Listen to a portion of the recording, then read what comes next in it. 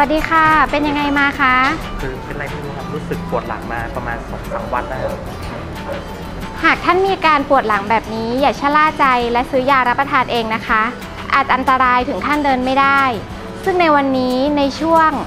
คุยกับหมอลานนา ดิฉัน ตักพลภารอดขันเมือง จะพาไปพบกับคุณหมอผู้เชี่ยวชาญ ประจำศูนย์โรคปวดหลังโรงพยาบาลลานนา ซึ่งก็คือคุณหมอเดชวัฒน์ศรีวัชพันธ์ เราจะไปขอปรึกษาคุณหมอเกี่ยวกับโรคปวดหลังกันค่ะ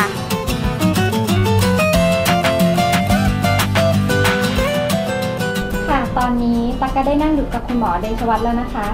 คุณหมอสวัสดีค่ะสวัสดีครับ สวัสดีครับ ค่ะคุณหมอคะคนไข้ส่วนใหญ่ที่เขามารักษาอาการปวดหลังกับคุณหมอเนี่ยค่ะ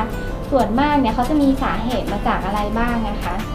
ก็จากอาการปวดหลังที่เจอมานะในคนไข้ส่วนใหญ่เนี่ยสาเหตุส่วนใหญ่คนไข้มาจากเรื่องของการนั่งทำงานนานๆนะ ซึ่งเป็นเรื่องของการปวดของกล้ามเนื้อ แล้วก็มีบางส่วนที่จะเป็นเรื่องของหมอนรองกระดูกทับเส้นและอีกส่วนหนึ่งก็เป็นเรื่องของเอ่อกระดูกทับเส้นประสาท ในคนที่เจอในผู้ป่วยที่อายุมากขึ้น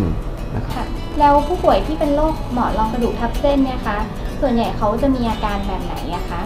เพราะอาการหมอนรองกระดูกทับเส้นส่วนใหญ่เนี่ยผู้ป่วยจะมาด้วยอาการเรื่องของปวดหลัง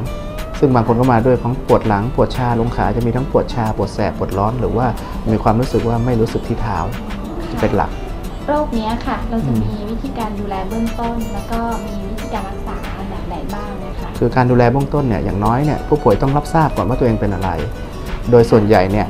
ปัจจัยที่ไปกระตุ้นเกิดจากนั่งนาน ยืนนาน หรืออยู่ในอิริยาบถใดนานๆรวมถึงการยกของหนักเกินกำลัง การทำกิจกรรมที่ต้องขยับหรือเคลื่อนไหวตัวเร็ว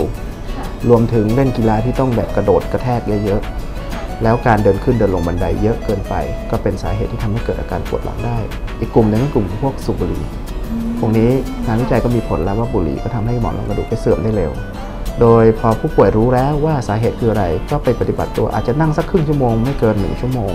แล้วลุกไปยืดเส้นยืดสายสิบนาที สำหรับวันนี้นะคะ เราก็ได้รับความรู้เกี่ยวกับโรคปวดหลัง แล้วก็วิธีการรักษากับคุณหมอเดชวัฒน์กันไปแล้วนะคะ สำหรับตอนต่อไปจะเป็นเรื่องอะไรนั้น รดติดตามในตอนต่อไปเลยนะคะสำหรับวันนี้ขอลาแค่นี้ค่ะ สวัสดีค่ะ สวัสดีครับ